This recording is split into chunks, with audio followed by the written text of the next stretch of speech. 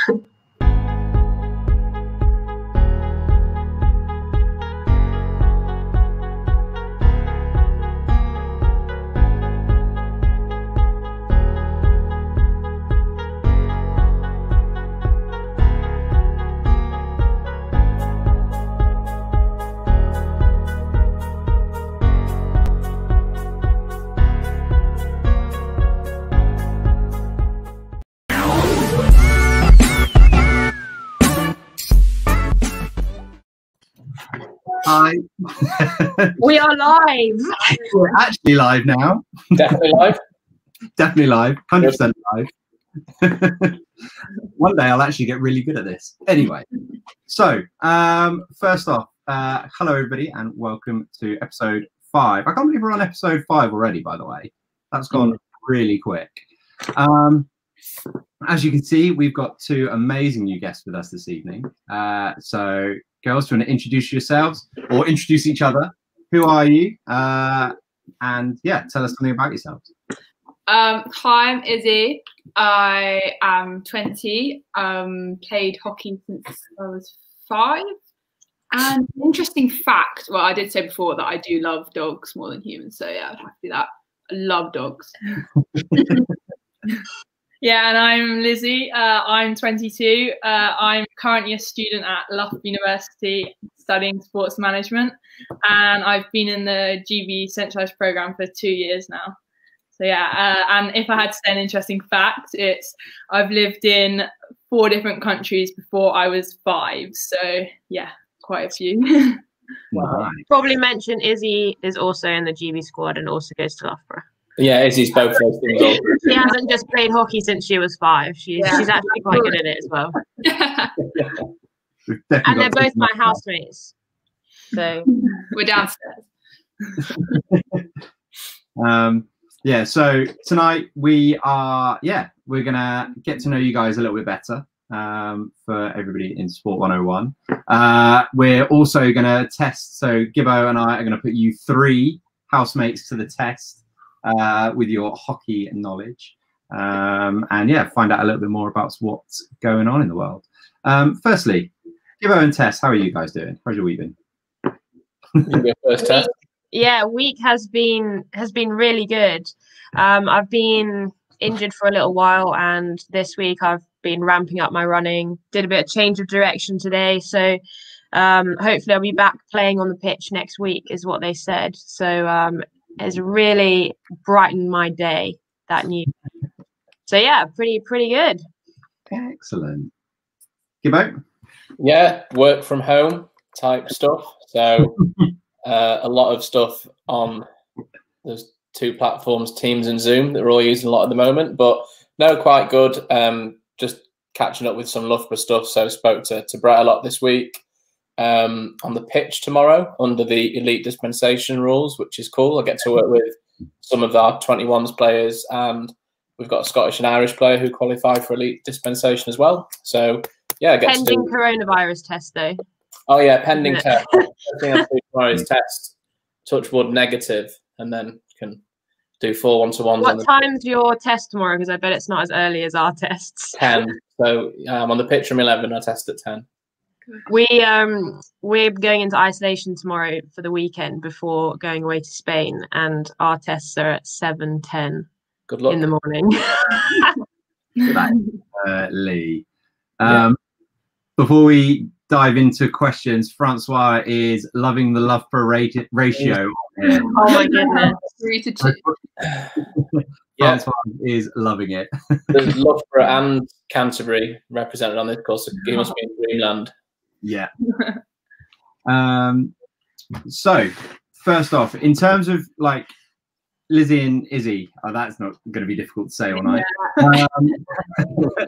Um, um, like, how's it been being back at training? Like, how, like, being back on the turf, obviously with all the girls, like back of the squad. How's it been? Um, what's been kind of your highlight being back on the turf? Um, I would say firstly, just seeing all the girls again. It was really exciting to get back after Christmas. We had a nice break. Uh, we had about four weeks of doing running from home, um, and just getting back in that social environment and seeing them, playing with them. Just yeah, it makes our weeks really. So yeah, no, I really we really enjoyed getting back on the pitch.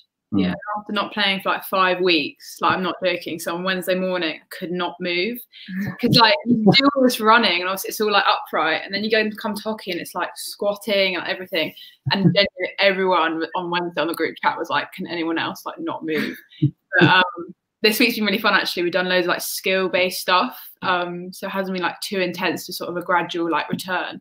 Um, so it's been a lot of fun, especially not just running on your own. It's nice to do some team stuff as well. I do find it funny when you come back after a period of being away and then you have to socialize again with not just your family or close people that you talk to every day. And I would say one of the things I always struggle with is actually getting back and talking to a big group of people. Um, it's interesting from a social point of view. Yeah, that's huge. I bet there's players up and down the country who are relieved to hear you say that about how much it hurts coming back, even for a senior athlete as well. Oh my god! Like nothing hurts like playing hockey because that's like a classic pre-season thing. I've done loads of running, but God, I'm sore after the first like that sort of first week back pre-season. Every player up and down the country says it. Mm. I've done loads of running. I'm meant to be fit, and but I'm I can't move the next day. Different beast hockey. Nothing hurts like hockey, does it? Can't really replicate it. Um, and so, like, how many like sessions and stuff have you done this week? Like, what's it? What's been your schedule coming back into it? Um, so Monday, so actually we had fitness testing last week, which was not very fun, obviously, but it has to be done. So we did RSA, which is repeat sprints on Friday and some jumps, and then third 15 on Saturday. So got that out the way. And then Monday we did pitch and gym. Um, then Tuesdays pitch, um, Thursday pitch, gym, pitch. But the first pitch was like uh, P- um, penalty corners and PCD sort of stuff. And then we didn't actually train today because they said it would be frozen, but it wasn't frozen, so we had to run instead. But we're training on Sunday um, instead, so it's been pretty busy. Our Yeah. schedule's a bit different to normal because normally we wouldn't train on the weekends. Um, but at the moment, just because of coming back and wanting to get as much pitch time as possible, we we forfeited our weekend and yeah, had S&C and yeah, hockey on the weekend. So it's quite nice to break up the weekend a bit. Yeah, I imagine. Um, I think I think, and this kind of is a question to all three of you. Is there anybody that's um, like been like the super most excited kid back at school in the squad? Is there any way you're thinking actually they are the one that's been like uber keen to be back, like I don't think that's going to be tough. ready to go? I would, I would actually. Say, I mean, they might say me, but I would say that Towner has been Yeah, I was saying Yeah. needing a lot of um attention. Probably is the best word to say. She, um, it was so sweet. She put on the group. Can't wait to see you all on the mon- on Monday morning, and no one replied. No. It's so sad. Well, I said to her I would have replied, but I just didn't see the message, and then we were already at training, and I thought it's a bit weird if I reply whilst I'm there. So Yeah, bless her. She's been living on her own, I think, a bit. So I think she's just excited for some social interaction, bless her. Um, but yeah, definitely Towner, I'd say.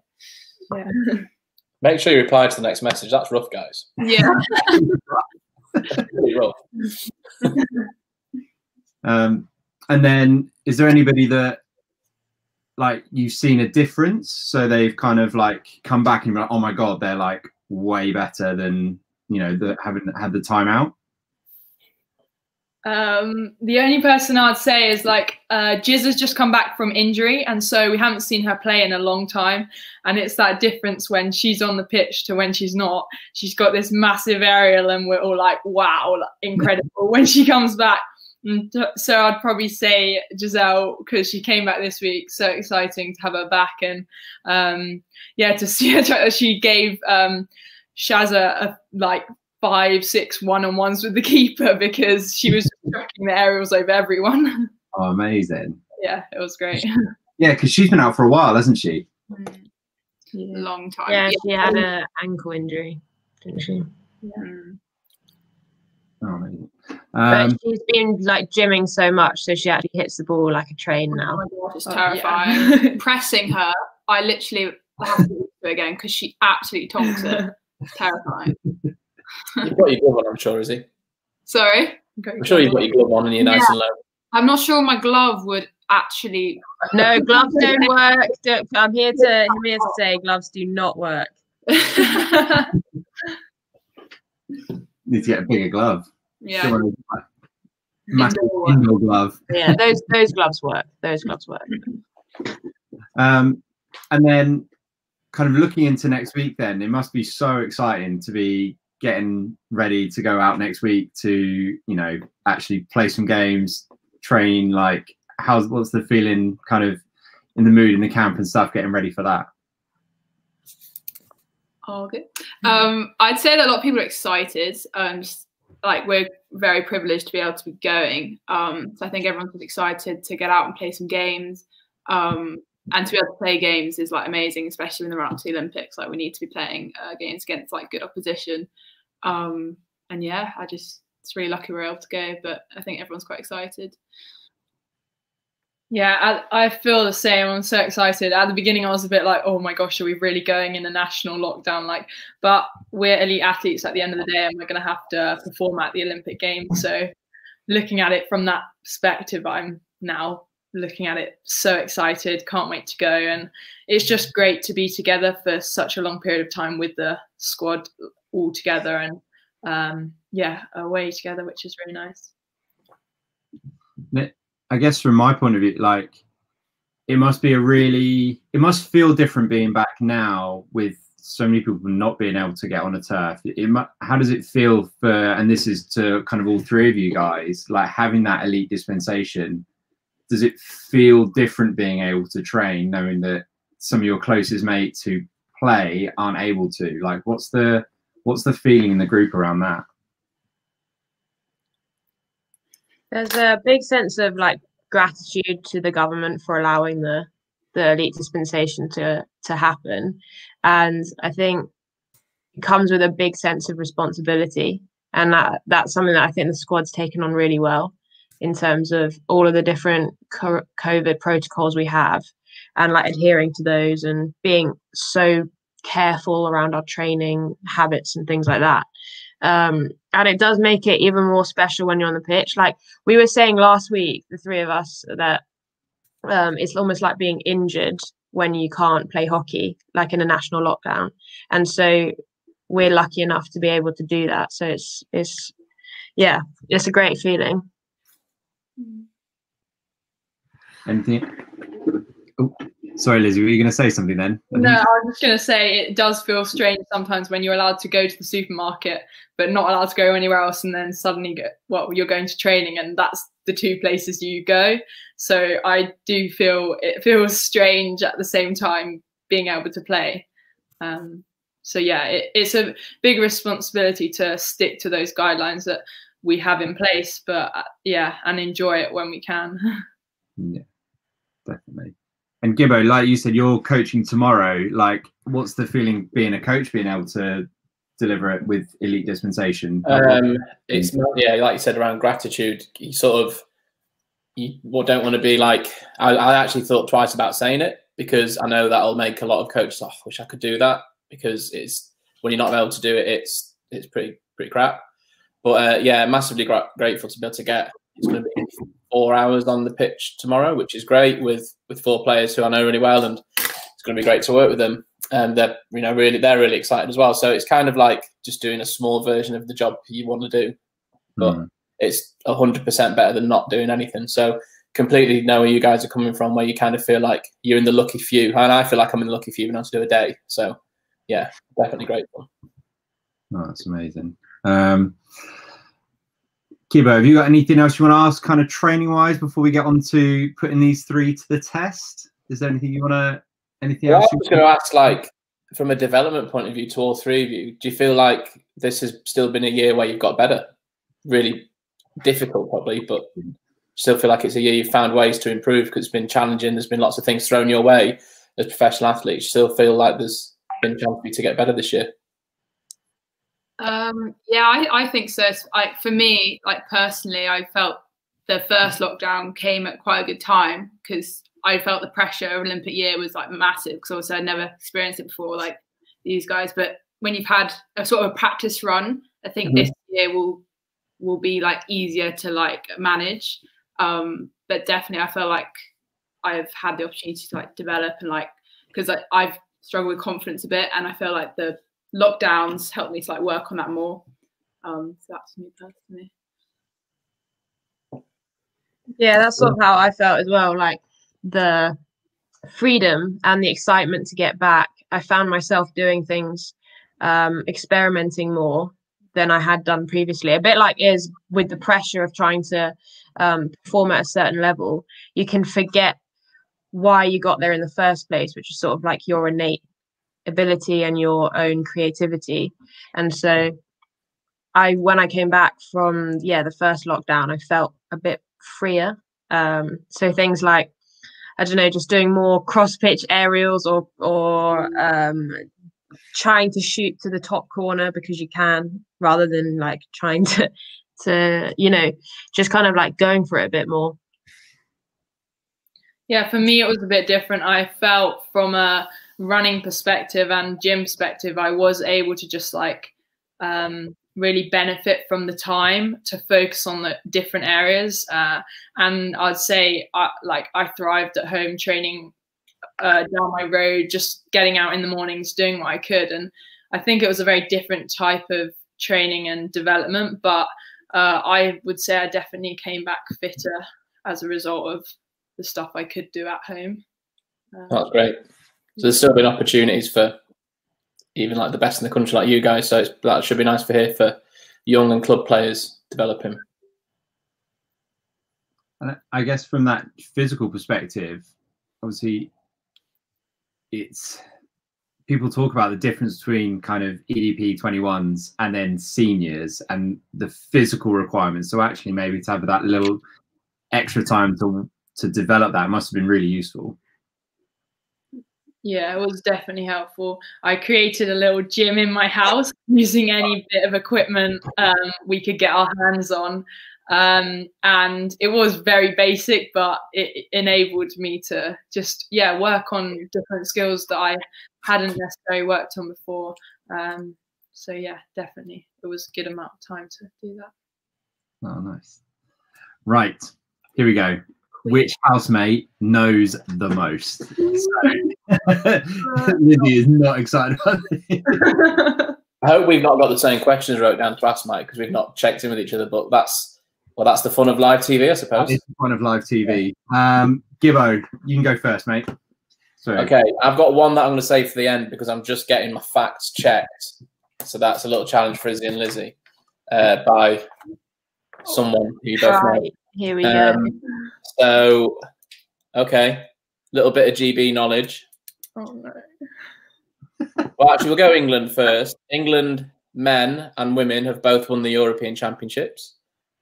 When was the last time they both did it? What was the year for the men, the year for the women?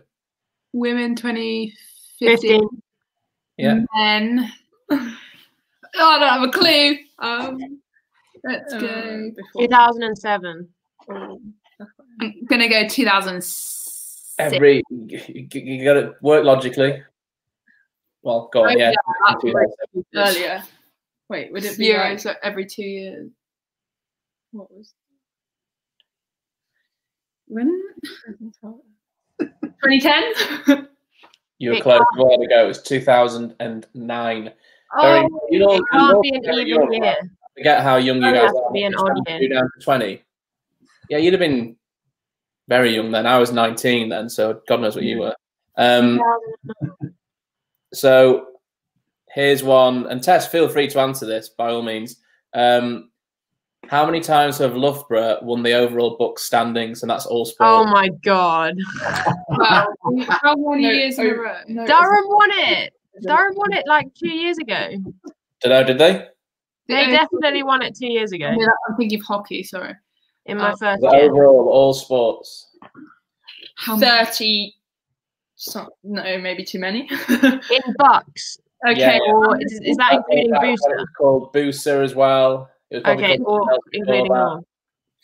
I'm I'll gonna say nine. Okay, nine. We'll play close. We said Four. Um, I'm gonna go t- thirty. I really don't. Good. I Liz? said fifty-four. 54.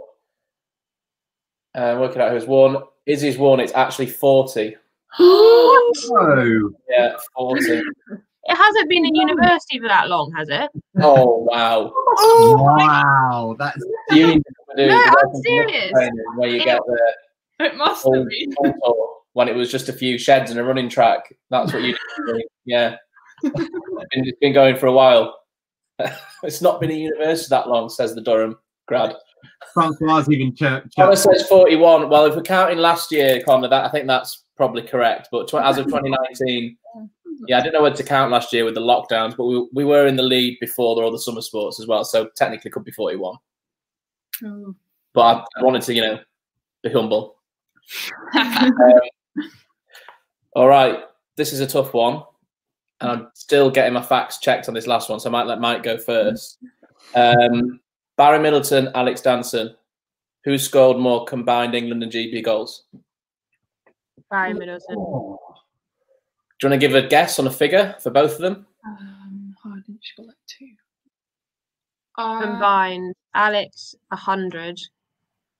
Because she she scored her hundredth at the World Cup, I thought. Hundredth? Yeah, I think hundred. 200. Barry Middleton, I'm gonna say hundred twenty. Mm, Do we have to guess How long well? did Barry play? He played for so long. I'm gonna say Barry Middleton. Maybe she scored her two I'm hundred. gonna I up feel the like Alex- and say Alex. I feel like Alex Okay. scored 200. Was it two hundred? No, I thought it was two hundred. Cat, I don't remember. Um, that's hard. 100 caps. Okay, so on, it's give it. very close, and we've had one guess that is almost bullseye. So mm. Barry, 119. It's a test, unbelievable. oh my Oh my god. God, and Alex 115 I've got down. Oh, that's close. Very close, but the actually I mean Barry was quite a prolific scorer, but Alex's record is in 306 combined games and Barry's is in 432. Wow, Wow, Pretty two very impressive records. it's amazing. matches. That's So Mike, do you want to go first? I've got I'm just prepping this the last bit to this question because it could be quite funny, but I'm just making sure I get it right. So I'll, I'll do and then you do that one. Yeah, yeah. Right. So, Maddie, Lil, and Jizz. Who has more caps? Put them in order. Okay. That order. Uh, well, which one? Who in order of who has the most caps out of Maddie, mm. Lil, and Giselle? Who's got more? caps? Okay. Should we reveal it like this? Yeah. I'm on, not showing them. on your phone like that. Who is the weakest link? Goodbye. Oh, okay, we've really done. Doodle-doo. We've done I feel like they were opposites. in before, Jess. I feel like they were in the same. Sorry, this is combined, correct? Yeah. Uh, Home- combined. yeah. Okay. Nice. Combined. No, Reveal. Reveal. oh, You can't really see. Yeah. So you've gone Lily, Maddie, Jizz, Jizz, Maddie, Lil, Maddie, Lil, Jizz. The answer is Giselle, Giselle, Giselle, Lily, and then Maddie. Oh, I got it. Really? I got Giselle right. What did you Oh say? my. Got it completely wrong. Yeah, same. I thought. So Maddie has the least out of all of them. Out of those three, Oh. yeah. That's interesting. I did not know that. I thought because Lily's missed two tournaments. Mm. But I guess Maddie also missed I a tournament. thought, wait, so Lily and Jess went the same time? So uh, Giselle has 156. Uh, Lily has 155, Oh, Wow. And Maddie has 149. oh okay, so it's I mean, actually they're all in the same Really place. close. gosh. Yeah. Wow. really close. Um, and then my next one who has more goals, Towner or Holly? Oh, Oh, this is a good question. I think Towner's on nine goals. yeah. I think she's on, or seven, seven or nine. What do? I know, but I'm just wondering what do you would do. No, Towner, I think. I'm- I'm saying I'm Towner. gonna say Towner now because if she's online, peer pressure. No, Holly has no. no. So what are we I saying? can't, I can't remember Holly scoring. Scoring. I remember scoring at the Commonwealth. That's it. strokes. Has Holly ever taken strokes? No. No. No. So Holly has scored eight, Oh, and Oh, Towner. here we go. and Towner Eleven. eleven. Oh, Badger. Badger. Yeah, Badger. Badger. Her, her number is nine. That's why I thought nine to begin Yeah, with. yeah. Uh, and then Un- Unzi's the next one with 11 as well. So Unzi and Towner Eleven. with 11. So a little bit of trivia knowledge for you there. Uh, Gibbo, you ready with your final? Overtake. Yeah. Um, ninety percent ready, but I'll do it anyway. So Lizzie, Mm. How many Loughborough games and goals has Izzy played and scored? Oh, good luck. Games in a season. I know how If watching, get in on this as well. Goals. Um, not many. I want to say five goals, and not that many. Okay. I struggled. Um, struggled last season. And then how many games in a season? No, and How many? nine- Nine teams. So I want to say you you didn't play them all, but you played this season too. I'm going to say eleven games. Mhm. No, oh, Okay. total. Oh, you play everyone twice, don't you? It's amazing how those leagues work. Brilliant. You then. Okay. Four goals yeah, and Yeah. twenty-two. in 19 games. That's Oh, not- okay. I wasn't too far off. So this is the, the figure that's going to get debated. I know your games, Lizzie, but you predate me at Loughborough. So I'm having to second check just Brett's Ooh. doing some SWAT now on your goals. oh my god. How many games for Lizzie and how many goals in her She scored at BUCS final. I remember that. league? How league- many don't actually- years? When did Just you? doing league because Izzy's not played BUCS I for joined in hasn't yet. So just I think you scored six goals, Lizzie. Oh my gosh, I have absolutely no idea. Like fifty odd, like maybe sixty. Would you? How? m- I don't know how many games are in BUCS either because I haven't played. Not BUCS. counting BUCS, just league. Gosh. Uh, let's go 11, 19. Let's go 15, 30, 45. Lizzie, do you know your goals? No. I'm Yeah, going to say last season. She's not obsessive like us. That is something I would 100% want to know. Mm. I say six six goals, 70 games. Very close, 65 games, and I'm getting confirmation oh, from Brett. That's. I actually think six is in the ballpark because it's none this year, two last year, one the year before, and the year before I was there, you played North Conference. I reckon you could have easily scored a couple that year, so you could be banging the right ballpark. So we'll get confirmation from Brett. I thought I was mm-hmm. thinking five or six, but 65, yeah, sorry, I don't know. That's a lot of games. is a a lot, lot of of games, games. a lot of games. Wow. I'm outside. Surprised. So who? The, so just thinking then, who's got the best knowledge? Then I think it's kind of who do you reckon Gibbo's been the closest out of the two so far, knowledge-wise? Um, it's very tricky that. So I would say Lizzie has slightly more like bat hockey badger tendencies. If that makes sense. like Badger.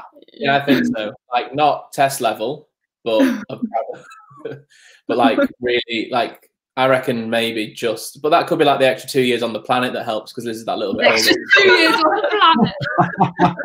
And it's a bit more worldly wise, maybe. I don't know. I think it's, I'd peg them pretty even, but yeah, It's a draw. it's a, it's a ball draw. ball draw. I go with that.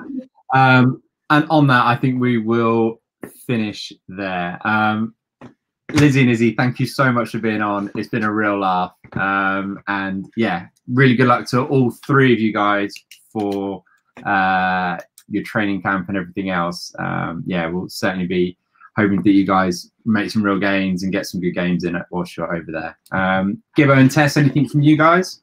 well, what we're doing next week, Mike. Oh, I'll let you lead on that one, mate. Actually. Yeah, cool. So next week, um, these guys, you'll be in Spain, right? Yeah. So we're hoping Tess has a slot to join us. You're more than welcome as well. Uh, but we have a sports psychologist join us called Neil Roach. He's someone that I know pretty well. I've done a project with him before and heard him speak a few times.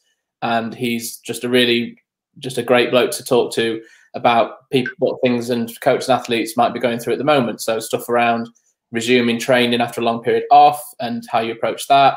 Some stuff around performance anxiety, some stuff around just supporting athletes and coaches in this difficult period. So we're lucky to have him on the show for the full the full slot next week, the full hour. Um, and if anyone has any questions, submit them to Mike. Comment on this video. I think they're going to go on YouTube. So just put them in the comments. We'll see them, and we'll make sure that we uh, factor them into the show. But yeah, really looking forward to having him next week. Amazing. So excited for that. Uh, Tess, anything for you before we finish up? No, just go check out free solo hockey, free solo hockey as usual. Definitely. And uh, I don't think I've mentioned East Grinstead yet, so there you go. The weekly East Grinstead loving. Weekly You're very lucky heavy this week. I'll let you off. Sure.